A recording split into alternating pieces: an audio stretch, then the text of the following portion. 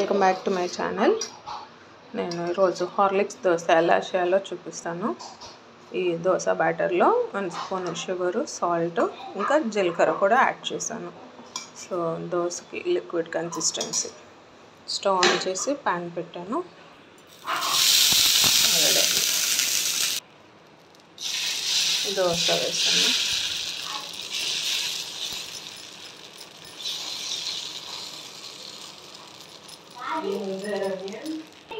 సరిపడా ఆయిల్.